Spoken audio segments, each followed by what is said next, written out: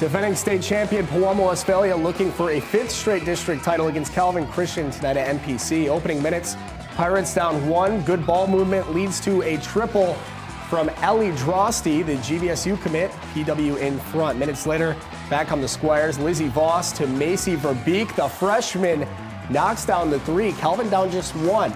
But in the second, off the steal, it's Drosty ahead to Emily Nuremberg, who finishes through the contact plus the foul. All Pirates in this one, 54 19 the final. That's five straight for PW.